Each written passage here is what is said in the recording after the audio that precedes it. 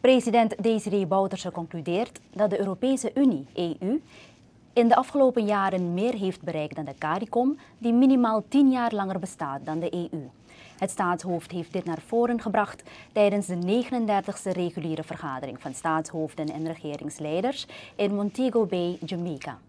Het staatshoofd vindt dat de Caribische regionale organisatie goed op weg is, maar dat het in de komende vijf jaar hard zal moeten werken aan concrete acties.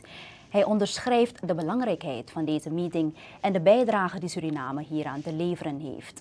Vanwege het gewicht van deze meeting heeft Bouterse de jaardag van de NDP moeten missen. De president heeft ook aangegeven dat Suriname reeds goede stappen heeft gezet binnen de CARICOM. Zo heeft zij bijvoorbeeld concrete stappen gezet in het kader van het maximaliseren van de participatie van jongeren.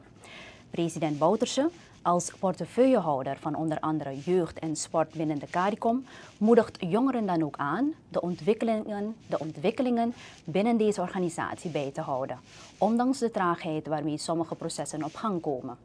Bij de opening van de 39e vergadering van staatshoofden en regeringsleiders zijn de nieuw gekozen en herkozen CARICOM-leiders aan het woord geweest, als ook de uitgaande en huidige voorzitter.